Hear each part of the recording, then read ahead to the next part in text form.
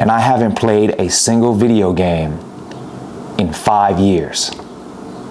Five years. Because I replaced all those video game hours with income producing hours because I realized as a man, fuck a virtual world, I'm trying to get paid in the real world.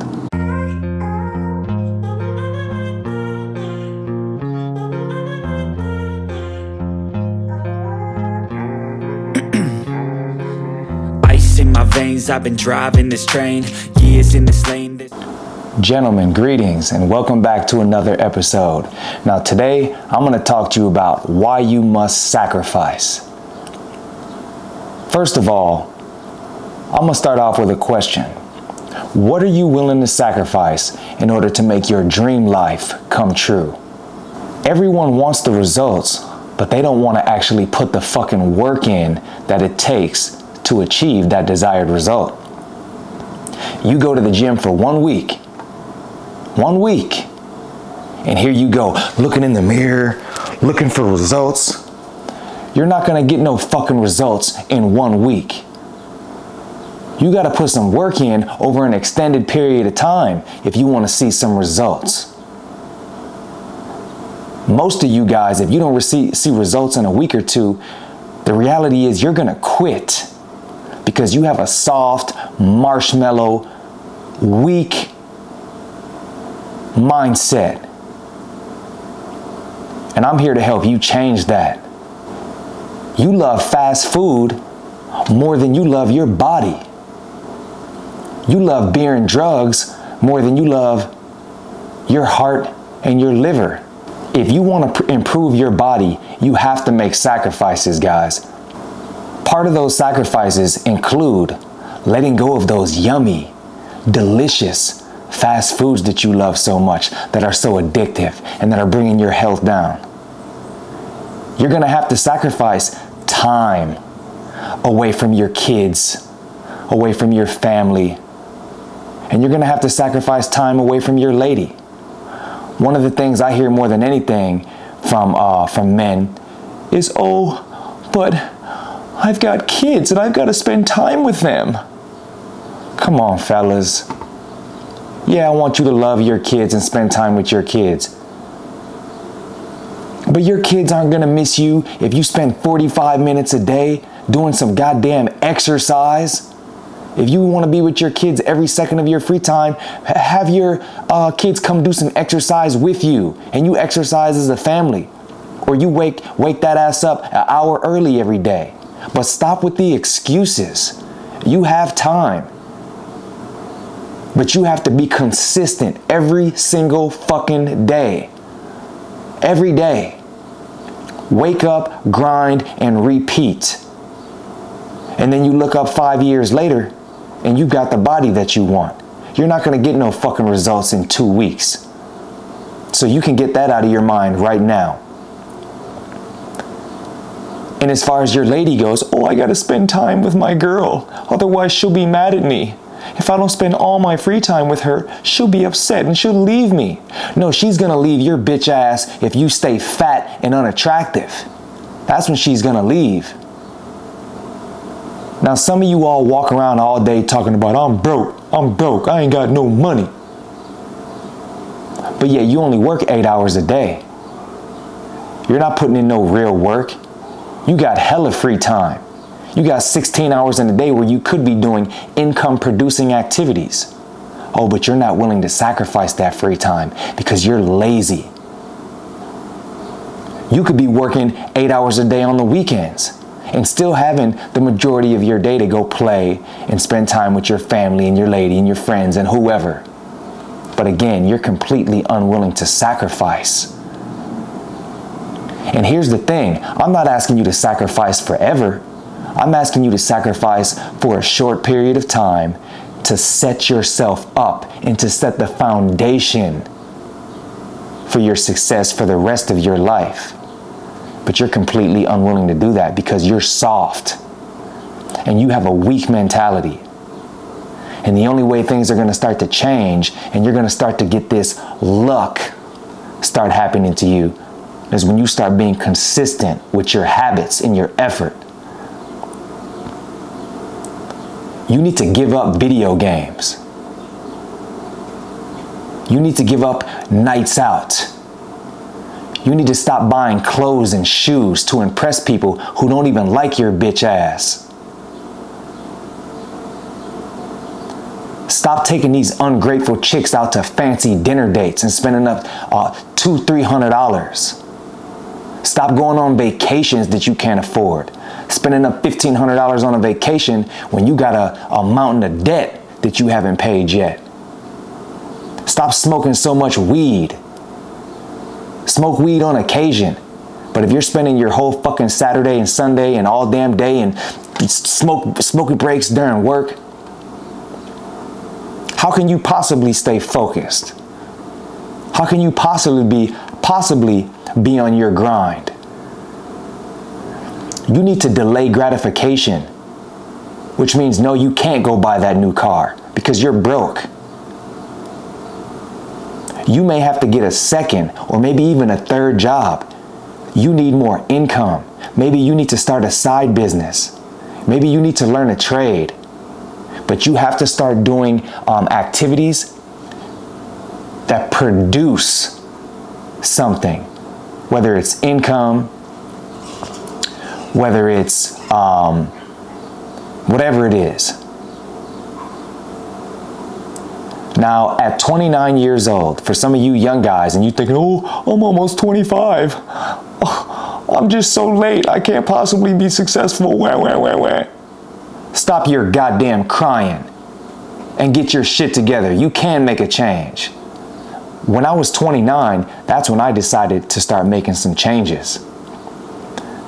Guys, listen, I love video games. I love video games as much as the next man. Madden, 2K. When I was in college, I'd be on my Madden for 10 hours a day. But guess what? At 29, I sold my PS4. I remember looking at my PlayStation. I remember staring at it for like five minutes. And I just got to a point where I said, fuck you, PlayStation. And I sold that bad boy because I knew that I could no longer afford to sit around and be playing video games. And the only way that I was going to be able to stop playing was if I completely removed it from my house. And I haven't played a single video game in five years. Five years. Because I replaced all those video game hours with income producing hours. Because I realized as a man, fuck a virtual world. I'm trying to get paid in the real world. Now, maybe I'll buy a, a, a, a PS5 or a new system once I'm financially free and I've bought my time back with my hard work and my sacrifice on the front end, which is what you guys should be thinking. Now, at this time when I started to make these changes, I also stopped seriously dating. I sacrificed going on dates. I sacrificed uh, what these chicks thought about me. I stopped giving a fuck. Oh, you don't want to be on my program? Bye. Don't care. Oh, you want to do X and I want to do Y? good night, don't care. And the ironic thing is, women actually started to find me more attractive because I wasn't uh, running behind their ass. I started doing what I wanted to do.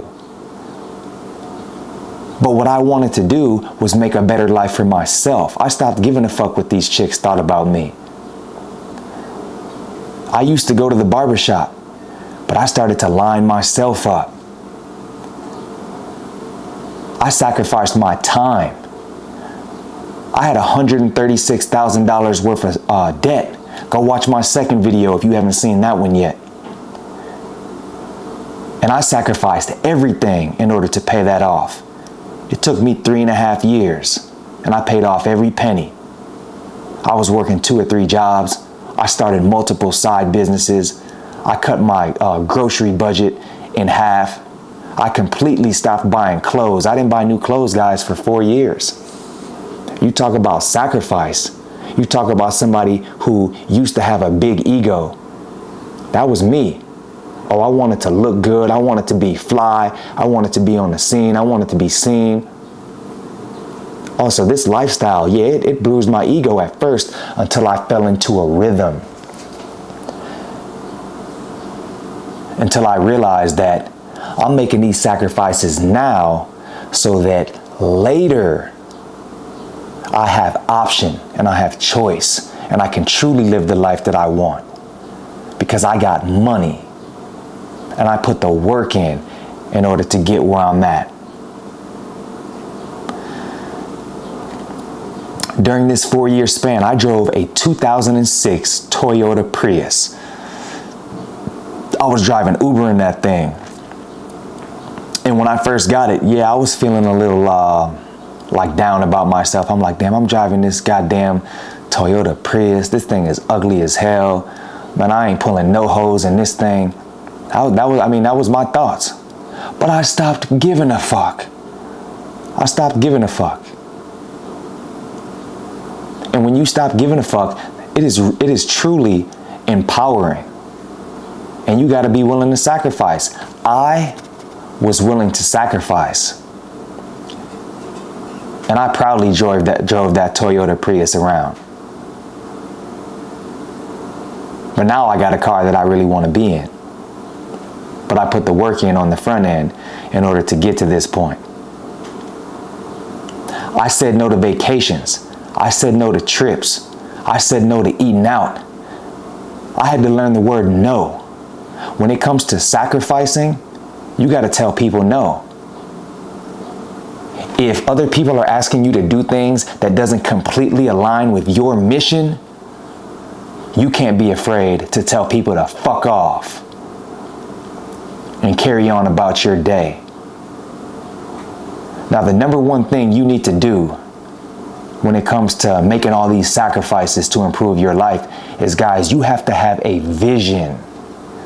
You have to have a vision and you got to be able to visualize exactly what you want your life to look like. And the emotions that you feel once you start to do this visualization, those emotions, they feel real. And then it just becomes about uh, manifesting your destiny after that and making a plan and once you sit down and you write out, guys, I want you to get a pen and paper out. I want you to write out your vision and write out your plan, even if it takes you a full day to do so. And then after that, all you got to do is just work your plan day by day. I'm not eating sugar. I'm not eating candy. I'm going to eat the same things every single day. I'm going to count my calories. I'm going to eat my protein. I'm going to lift my heavy weights. I'm gonna get my fucking body right. I'm gonna lose this weight that I need to lose. I'm gonna work two or three jobs. I'm gonna increase my income. I'm gonna drive this bullshit ass Toyota 2006 Toyota Prius. I'm gonna pay off all my debt. I'm gonna build up my wealth. I'm gonna work on my body and my skin and my conversational skills, and I'm gonna read uh, books and I'm going to live my life with a sense of purpose, knowing that I'm working towards my dreams. And guys, that's half the battle is just making a plan and sticking to it and sacrificing those things that you know you really want, knowing that you will have them. But it's just going to take you a couple years. Lay the foundation for your life. and be willing to sacrifice. So, fellas, remember, you are the prize. Continue to work on yourself. Continue to make these sacrifices because I promise you they will pay off in the end. But you got to be a beast about yours. Don't let any soft, bullshit, negative thoughts enter your mind. And you keep your blinders on and you keep your fucking eye on the prize, my guy. So if you found any value in this video, make sure you like the video, make sure you subscribe to my channel, and make sure you leave a comment down below. All right, fellas. I withdraw on the things I make. I turn flaws into flawless traits. I build tall, never capped in space. I won't stop till I hear him say, oh, oh, la, la, la,